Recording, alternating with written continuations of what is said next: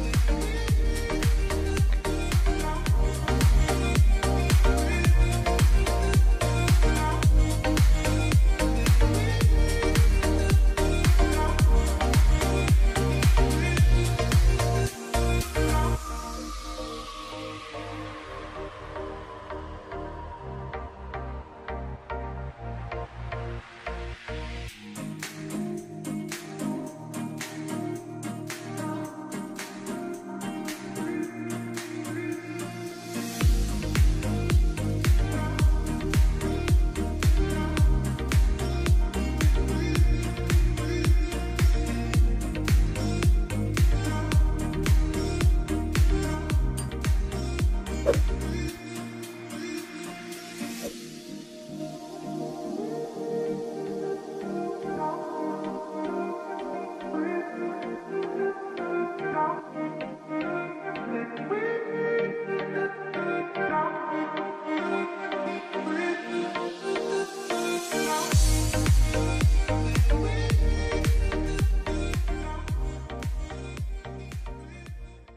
Thank you Trio Vlogs for submitting your video. Let's talk about it a little bit. First the transitions.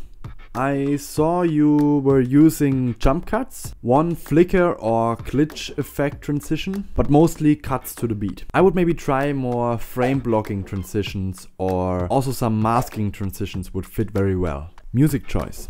It's a good music choice for a travel vlog. It's a happy and uplifting music and it has this vibe in the whole video. It's great for editing and also keeping up those good vibes, but not so good for sound design. Too loud and too complex to put also sound design and sound effects or something like that into it. Camera movement.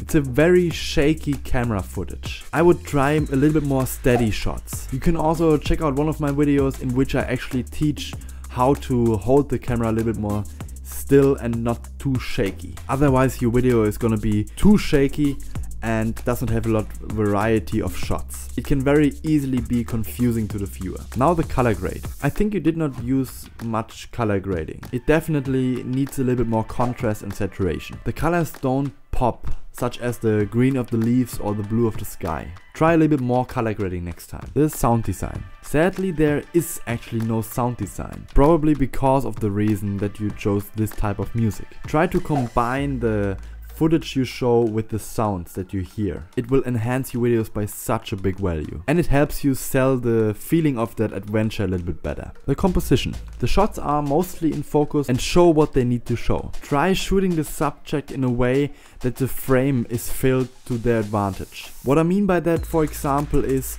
when you run to the left then show a little bit more of that space where you're running to fill that frame a little bit more. There's one clip where you can see that very clearly. The shot is too far on the right and it's not clear where you're running to and also a little bit confusing. Try to keep that rule next time throughout the whole video. Lastly, the creativity.